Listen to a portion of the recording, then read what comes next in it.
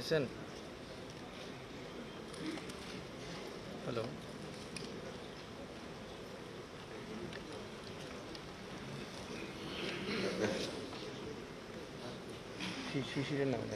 ক্ষেত্র স্বাধীনতা ও মুক্তিযুদ্ধ। স্বাধীনতা পুরস্কার ভূষিত ব্যক্তিত্ব বীর মুক্তিযোদ্ধা শহীদ আবু নয় মোহাম্মদ নজিবুদ্দিন খান খুররাম বীর মুক্তিযোদ্ধা শহীদ আবু নয় মোহাম্মদ নজিবুদ্দিন খান খুররাম উনিশশো চুয়ান্ন সালে নরসিংদী জেলায় জন্মগ্রহণ করেন। তিনি ময়মনসিংহ জেলা স্কুল থেকে মাধ্যমিক পরীক্ষা উত্তীর্ণ হয়ে ঢাকা কলেজে উচ্চ মাধ্যমিক শ্রেণীতে ভর্তি হন। উনিশশো একাত্তর সালে বাংলাদেশ ছাত্রলীগ ঢাকা কলেজ শাখার যুগ্ম সাধারণ সম্পাদক থাকা থাকা অবস্থায় তিনি স্বাধীনতা আন্দোলনের সাথে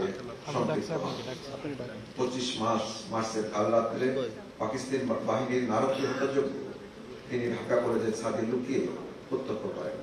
এরপর ছোট ভাই এনাতুল্লাহ মোহাম্মদ কায়সার খানকে সঙ্গে নিয়ে তিনি তৎকালীন ইস্ট বেঙ্গল রেজিমেন্টের অধীনে প্রশিক্ষণ গ্রহণ করেন।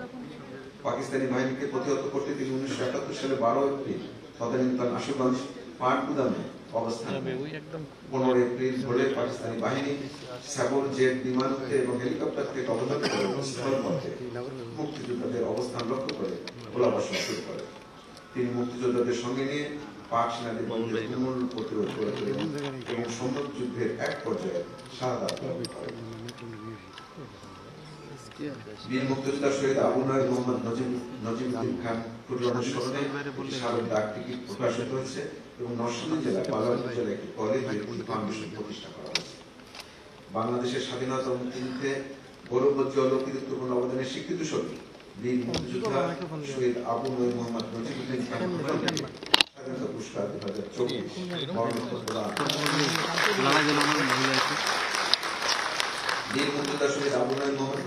খান খুররানের পক্ষে প্রধানমন্ত্রীর নিকট হতে পুরস্কার দু হাজার চব্বিশ গ্রহণ করার জন্য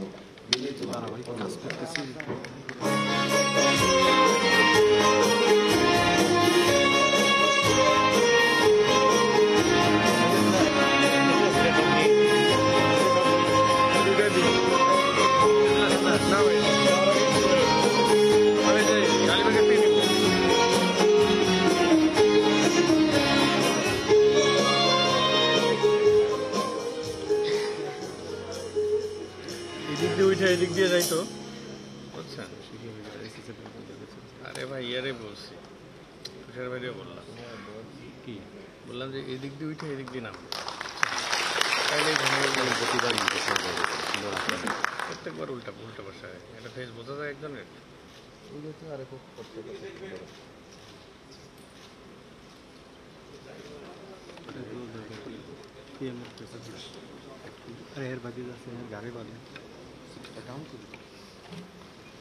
ক্ষেত্র বিজ্ঞান ও প্রযুক্তি স্বাধীনতা পুরস্কারে ভূষিত ব্যক্তিত্ব ডক্টর মুবারক আহমেদ খান।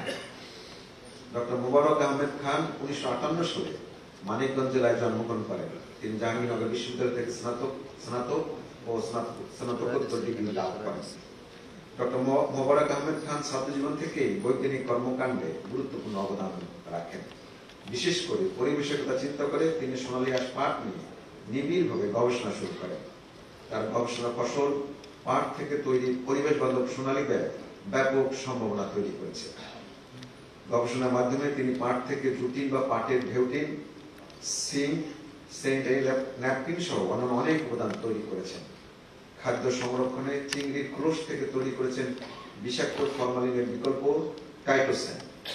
সামুদ্রিক উদ্ভিদ থেকে প্রাকৃতিক গ্রোথ প্রমোটার, গরুর হাড় বা জিলাটিন থেকে আবিষ্কার করেছেন আগুনে ঘায়ের ব্যান্ডেজ এবং জিলাটিন থেকে আবিষ্কার করেন পলিজিলিন বা ব্লাড প্লাজমা এক্সটেন্ডার।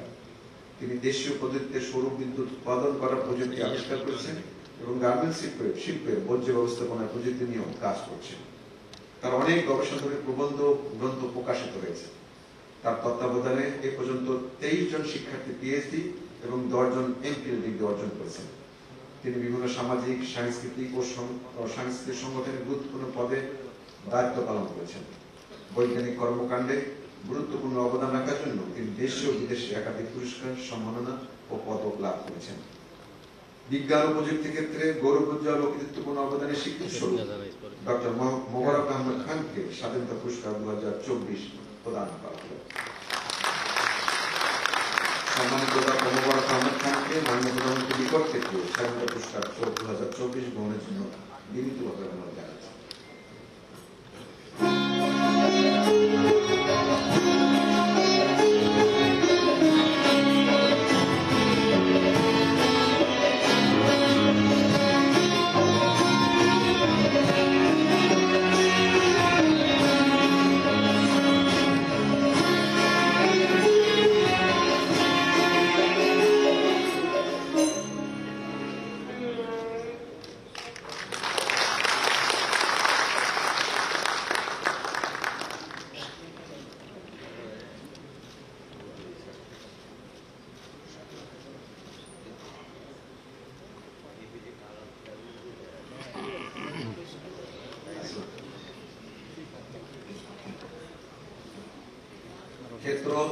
চিকিৎসা সেবা, স্বাধীনতা পুরস্কারে পুরস্কৃত ব্যক্তিত্ব, ডাক্তার হরিশঙ্কর দাস। ডাক্তার হরিশঙ্কর দাস উনিশশো সালে টাঙ্গাইল জেলায় জন্মগ্রহণ করেন। তিনি ময়মনসিংহ মেডিকেল কলেজ থেকে এমবিবিএস ডিগ্রি লাভ করেন এবং ডিওএমএস ভিয়েনা, অস্ট্রিয়া থেকে অস্ট্রিয়া থেকে চক্ষু চক্ষু চিকিৎসায় স্নাতকোত্তর ডিগ্রি লাভ করেন। উনিশশো একাত্তর সালে মহান স্বাধীনতা যুদ্ধের সময় ময়মনসিংহ মেডিকেল কলেজের ছাত্র থাকা অবস্থায় তিনি ভারতের আসামের মানকার চক শরণার্থী শিবির ও মুক্তিযোদ্ধা ক্যাম্পে চিকিৎসা সেবায় ছিলেন। ডাক্তার হরিশঙ্কর দাস পেশ নেশায় ও পেশায় একজন মানবিক চিকিৎসক হিসাবে দীর্ঘ চল্লিশ বছর নির্বচ্ছিন্নভাবে দুস্থ ও অসহায় মানুষের চিকিৎসা সেবা দিয়ে আসছেন। রোগীরা তার কাছে শুধুমাত্র চিকিৎসাই নেন না, তাদের কাছে তিনি পরমাত্মীয় এবং বেঁচে থাকার প্রেরণা। তিনি শত শত চক্ষু শিবিরে নিঃস্বার্থভাবে কাজ করেছেন। তার প্রতিষ্ঠিত চক্ষু হাসপাতাল থেকে সকল শ্রেণি মানুষের জন্য সহনীয় পর্যায়ে চক্ষু চিকিৎসার ব্যবস্থা রেখেছেন। তিনি দৈনিক কর্মকাল এক ঘণ্টা বিনামূল্যে রোগী দিকে আসছেন। করোনাকালীন সময়ে একদিনের জন্য স্বাস্থ্য সেবা বন্ধ রাখেননি। ক্যান্সার আক্রান্ত হয়েও তিনি চিকিৎসা সেবা চলমান রেখেছেন। পাশাপাশি নানাবিধ সামাজিক ও মানবিক কর্মকাণ্ডের মাধ্যমে নিজেকে অনন্য ব্যক্তিত্বে পরিণত করেছেন। চিকিৎসা সেবায় অবদানের জন্য তিনি বিভিন্ন পুরস্কার ও সম্মাননা পেয়েছেন। নিজেকে জড়িত রেখেছেন বিভিন্ন সামাজিক, সাংস্কৃতিক সংগঠন কর্মকাণ্ডে। অর্জন করেছেন বিভিন্ন পুরস্কার, পদক ও সম্মাননা। চিকিৎসা সেবায় গৌরব উজ্জ্বল ও কৃতিত্বপূর্ণ অবদান স্বীকৃতি স্বরূপ ডাক্তার হরিশ শঙ্কর দাসকে স্বাধীনতা পুরস্কার দু হাজার চব্বিশ প্রদান।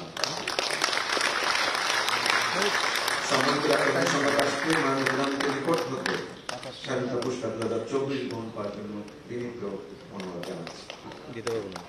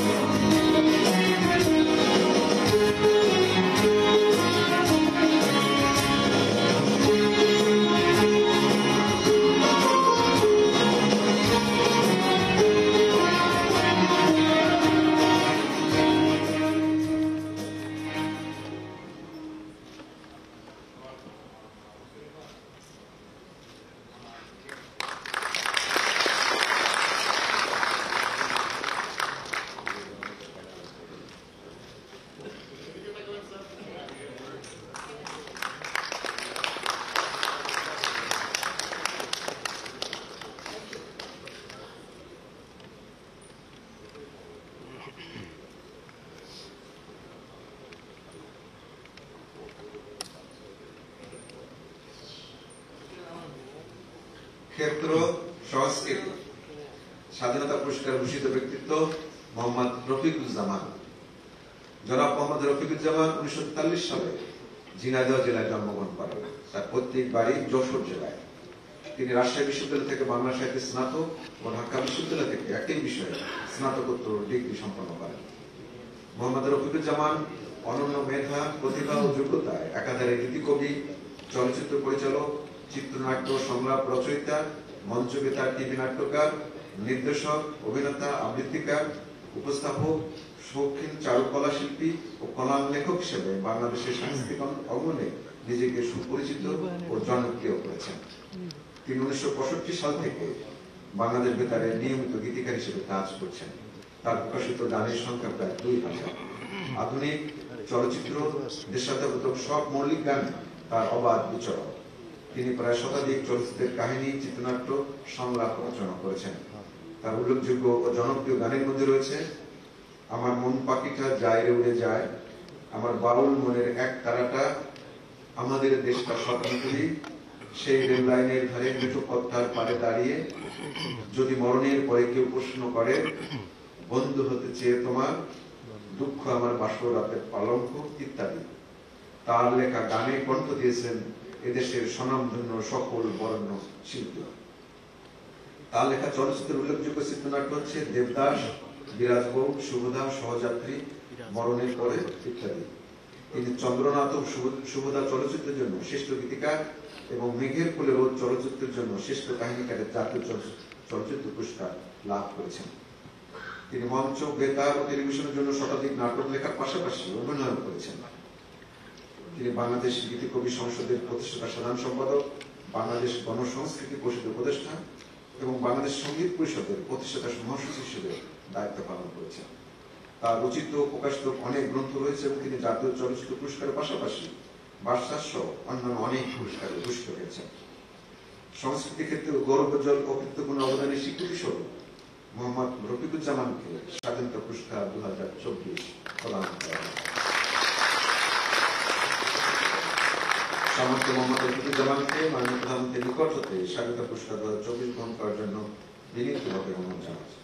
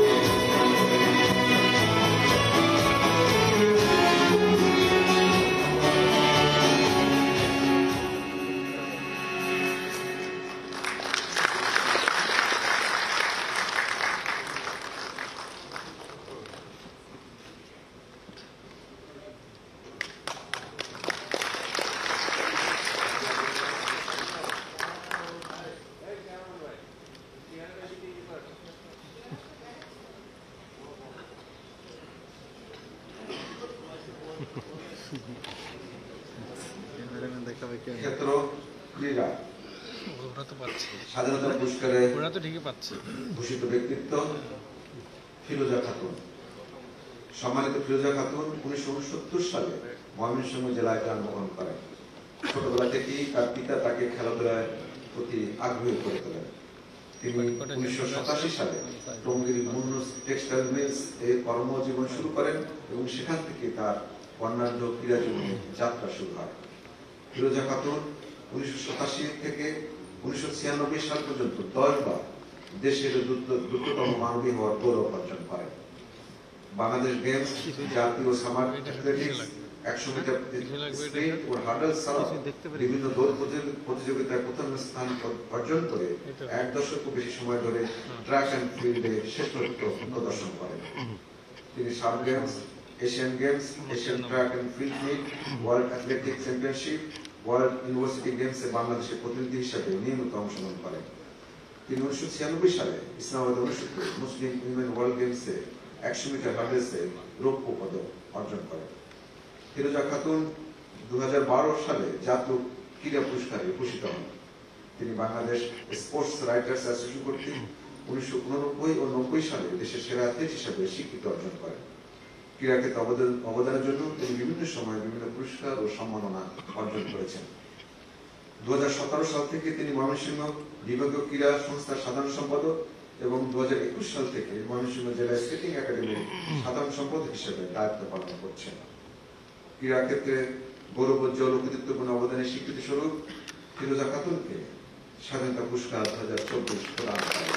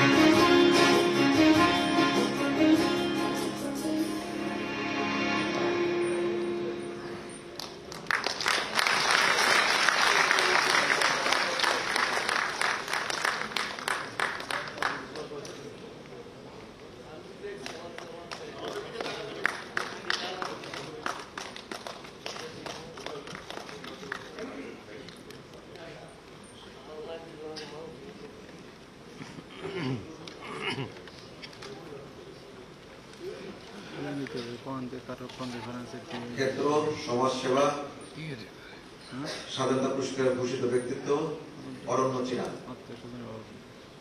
বিশিষ্ট সমাজসেবক ও সংগঠক অরণ্য চিরান উনিশশো আশি সালে ময়মনসিংহ জেলার ধোবাউড় উপজেলার দিগলবাগ গ্রামে জন্মগ্রহণ করেন। তিনি শেরপুর কৃষি কলেজ থেকে স্নাতক এবং ময়মনসিংহ আনন্দমোহন কলেজ থেকে ইংরেজি সাহিত্যে স্নাতকোত্তর এবং পরবর্তীতে এম এ ডিগ্রি অর্জন করেন।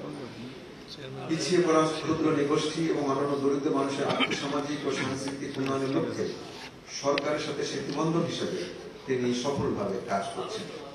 অসহায় দরিদ্রের তথ্য সংরক্ষণ, দরিদ্র শিক্ষার্থীদের বৃত্তি প্রদান, হাসপাতালে অসহায় রোগীদের পরিচর্যা, বাল্য বিবাহ প্রতিরোধ এবং সমাজে অনগ্রসর জনগোষ্ঠীর উন্নয়নে তিনি নীরবে কাজ করছেন।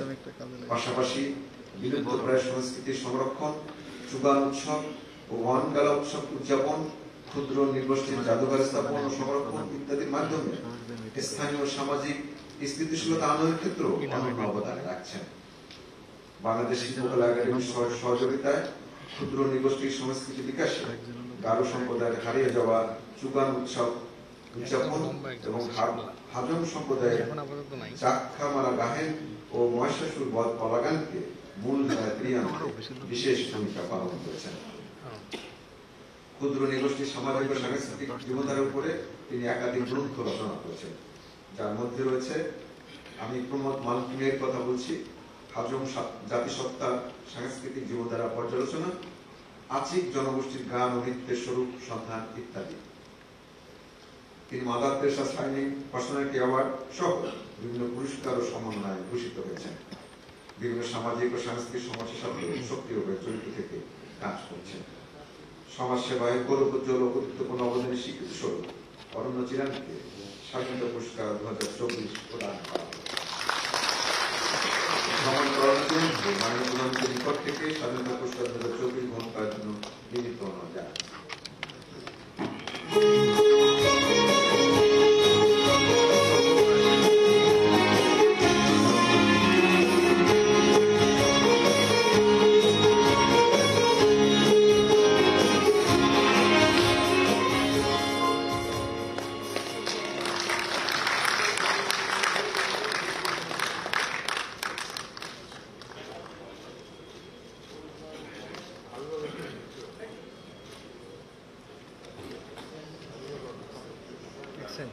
এবার সেন্স কি? এটা কিন্তু ওরা ঠিক করে দিতে পারে যারা দেয়। ছবি উল্টো হ্যাঁ মানে এটা তো তারা দেয় তারা দিতে পারে না এটা। তার ঠিক করতে হবে। স্বাধীনতা পুরস্কারে ভূষিত ব্যক্তিত্ব বীর মুক্তিযোদ্ধা অধ্যাপক ডাক্তার মোল্লা বাকি। বীর মুক্তিযোদ্ধা অধ্যাপক ডাক্তার বাকি উনিশশো চুয়ান্ন সালে গোপালগঞ্জ জেলায় জন্মগ্রহণ করেন। ইউনিভার্সিটি ইউনিভার্সিটি থেকে স্নাতক এবং বঙ্গবন্ধু শেখ মুজিব মেডিকেল বিশ্ববিদ্যালয় থেকে স্নাতকোত্তর ডিগ্রি অর্জন করেন ঢাকা কলেজে অধ্যয়নরত অবস্থায় বঙ্গবন্ধু জ্যেষ্ঠ পুত্র শেখ কামালের সান্নিধ্যে এসে ছাত্রলীগের রাজনীতির সঙ্গে জড়িয়ে পড়েন। উনিশশো একাত্তর সালে ছাব্বিশে মার্চ পাইককান্দি হাই স্থাপিত মুক্তিযোদ্ধা ট্রেনিং ক্যাম্পে নিয়ে একাধিকবার ক্যাম্পে ট্রেনিং নিয়ে একাধিকবার সম্মুখ যুদ্ধে অংশগ্রহণ করেন। পরবর্তীকালে মুক্তিযুদ্ধের নয় নম্বর সেক্টরে গুরুত্বপূর্ণ দায়িত্ব পালন করেন। তিনি জাতীয় ক্যান্সার গবেষণা ইনস্টিটিউট ও হাসপাতালের অধ্যাপক, কাম পরিচালক পদে দায়িত্ব পালন করেছেন। তিনি একজন নিবেদিত প্রাণ ক্যান্সার চিকিৎসক ও গবেষক। গরিব রোগীদের জটিল ক্যান্সার চিকিৎসায় তার উদ্ভাবনী উদ্যোগ বিশেষভাবে সফলতা পেয়েছে এবং দেশ বিদেশে প্রশংসিত হয়েছে। তার প্রতিষ্ঠিত প্রতিষ্ঠানের মাধ্যমে ক্যান্সার আক্রান্তদের সর্বাত্মকভাবে সহায়তা করছেন। তিনি ক্যান্সার চিকিৎসায় একজন সফল গবেষক তিনি secretory breast cancer ETV six NTR K three fusion positive breast cancer নামক স্তন ক্যান্সারের আবিষ্কার হিসেবে আন্তর্জাতিকভাবে স্বীকৃতি অর্জন করেছেন। এ পর্যন্ত বিভিন্ন জার্নাল তার প্রায় একশো আঠারোটি বৈজ্ঞানিক প্রবন্ধ প্রকাশিত হয়েছে। বিভিন্ন পেশাজীবী ও সামাজিক সংগঠনের নেতৃত্ব থেকেও সমাজসেবায় তিনি অবদান রাখছেন। চিকিৎসা পেশায় ও সমাজসেবায় অনন্য অবদান রাখার জন্য তিনি মাদার তেরেসা শাইনিং পার্সোনালিটি বিভিন্ন পুরস্কার ও সম্মাননায় ভূষিত হয়েছেন। সমাজসেবায় গৌরবোজ্জ্বল ও কর্তৃত্বপূর্ণ অবদানের স্বীকৃতি স্বরূপ বীর মুক্তিযোদ্ধা অধ্যাপক ডাক্তার মোল্লা ওবায়দুল্লাহ বাকিকে স্বাধীনতা পুরস্কার দু হাজার চব্বিশ প্রদান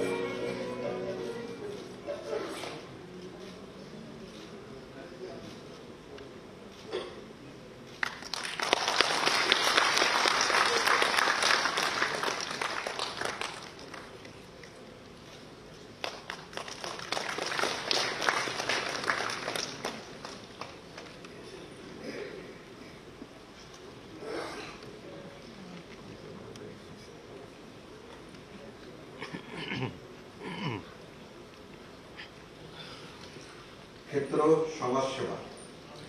স্বাধীনতা পুরস্কার ভূষিত ব্যক্তিত্ব S M Abraham Lincoln. S M Abraham Lincoln উনিশশো ছেষট্টি সালে কুড়িগ্রাম জেলায় জন্মগ্রহণ করেন।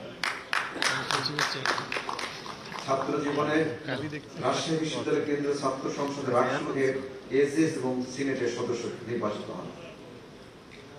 গণঅভ্যুত্থানে তিনি অন্যতম ছাত্র নেতা সামরিক শাসন বিরুদ্ধে লড়াই করে তিনি একাধিকবার কারাবরণ করেন।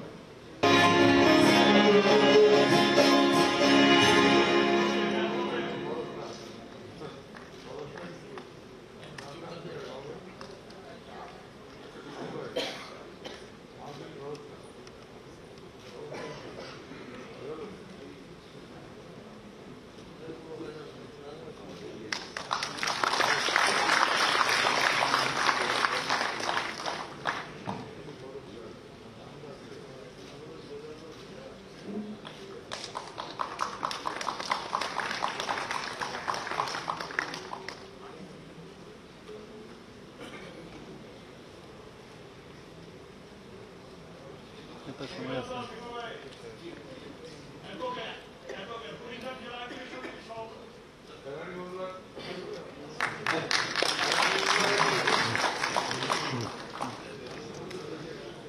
সম্মানিত সুধীজনকে স্বাধীনতা পুরস্কার দু হাজার চব্বিশ প্রদানের জন্য মাননীয় প্রধানমন্ত্রীকে সশ্রদ্ধ কৃতজ্ঞতা ও ধন্যবাদ জ্ঞাপন করছি। এরই সাথে শেষ হলো পদক প্রদান পর্ব। মনোনীত সুধীবৃন্দকে সর্বোচ্চ জাতীয় ও রাষ্ট্রীয় পুরস্কার প্রদানের জন্য মাননীয় প্রধানমন্ত্রীকে আন্তরিক ধন্যবাদ ও কৃতজ্ঞতা জানাচ্ছি।